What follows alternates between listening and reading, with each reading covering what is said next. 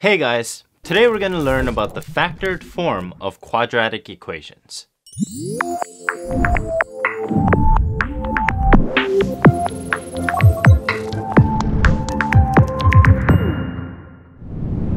Similar to how a quadratic equation can be written in either the vertex form or the standard form, sometimes the quadratic equation can be written in yet another form, known as the factored hmm. form. Now, the factored form looks like this. So, let's say we have a quadratic equation written in the standard form like this. Okay, so this equation factors into y equals x minus 4 multiplied by x plus 3. If you've already watched our factoring quadratic equations video, you would already know how to factor this.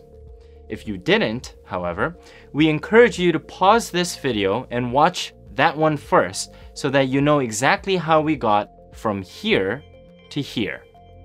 Okay, so notice how by factoring this, we've landed upon the factored form already.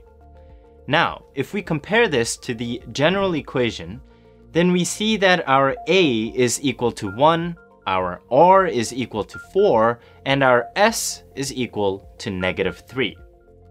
So, what's awesome about the factor form is that the r and the s provides us with the roots, or shall I say, the zeros of the graph. Let's think about what this means using the equation and a graphical representation. So, let's explore a bit and think about what would happen if x is equal to 4. What does that mean for the value of y overall? Well, if x was equal to 4, then 4 minus 4 is equal to 0. And 0 would be multiplying with whatever this equates to. Notice how I'm not too interested in having to plug in 4 over here to find out that it equates to 7. And why? Well, anything multiplied with 0 will equal to 0. So the beauty about this equation is that now we know that one of the points on this parabola must be 4, 0, just by looking at the factored form.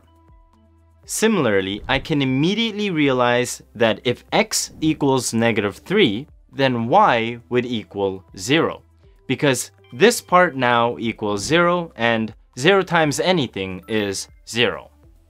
So, we'd have ourselves another point at negative 3 and 0. So notice how we found two points on the graph where the y value was 0. This is what we mean by the fact that the factored form is capable of helping us to find the zeros. So if we bring back the general equation, we can see that at a glance, R0 and S0 will be two points on the graph. Great! And as usual, the A over here helps us to realize if the graph is pointing upwards with a minimum vertex or downwards with a maximum vertex. If A is positive, then we're looking at a graph that opens upwards. If A is negative, then we're looking at a graph that opens downwards. So in our example that we have here, our A is positive 1. So we can tell that the graph will be pointing upwards with a minimum vertex and will generally look like the graph that we have drawn here.